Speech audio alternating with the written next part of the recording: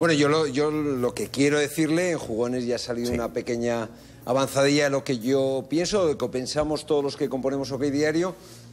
A Gerard Piqué Bernabéu no le ha echado eh, ni el Marca, ni el As, ni OK Diario, ni el Chiringuito. Le ha echado sus patochadas, sus niñerías y su anti-españolismo. Porque claro, una persona que juega en la selección nacional de un país no puede, mientras suena el himno nacional, hacer una peineta. Una persona que juega en el equipo nacional de su país no puede recortarse la camisa eh, o, o no ponerse la, la- la camiseta que tiene los ribetes con, la, con los colores rojo y gualda y, y- y hacer una patochada. ¿Usted se imagina la que se hubiera montado en Francia si Benzema, por ejemplo, pues en la equipación de Francia se quita los colores rojo, azul y blanco? ¿O si lo hace Pogba? ¿O si en la selección italiana un jugador decide quitarse el escudo y ponerse pues un, un adhesivo, yo qué sé, de, de- de- de- Homer Simpson? La que se hubiera montado.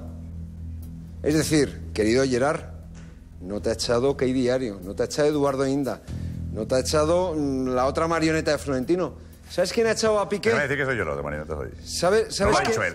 Lo dice Inda, lo interpreta él. Gerard, ¿sabes quién ha echado a Gerard Piqué Bernabéu? Gerard Piqué Bernabéu. Por tus patochadas, por tus niñerías y por tu antipatriotismo. Y te lo he dicho muchas veces. Yo daría la vida por defender tu derecho a ser independentista. Y lo digo de verdad. Pero el derecho a ser independentista comporta una obligación, que es la de ser consecuente y coherente.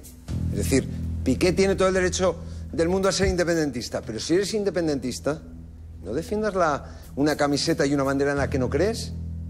Olegué Presas, independentista radical, tiene todo el derecho del mundo, le dijo a Luis, Mister, yo no creo en esto. Y Luis Aragonés, que no era precisamente ni de Podemos ni del Partido Socialista, y probablemente estaría en el lado más escorado del Partido Popular, le dio un abrazo y le dijo, chapo.